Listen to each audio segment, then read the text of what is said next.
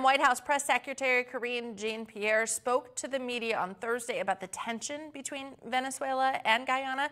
She was joined by the NSC coordinator for strategic communications, John Kirby. When asked if the United States would be imposing sanctions on Venezuela for not meeting that November 30th deadline to release U.S. hostages uh, and commit to democratic reforms, Kirby said that he's deeply concerned by the country not meeting the deadline, but would not say whether sanctions would be used. When asked about threats from Venezuela to annex an oil rich territory, Essequibo, from Guyana, Kirby made clear that the U.S. supported Guyana's sovereignty.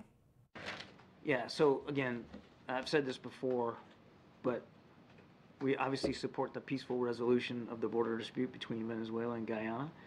Um, and course, and we absolutely stand by our unwavering support for Guyana's sovereignty.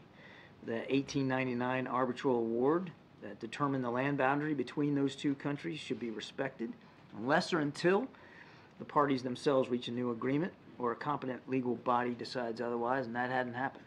So we're going to urge Venezuela and Guyana to continue to seek a peaceful resolution of this dispute, including by the International Court of Justice.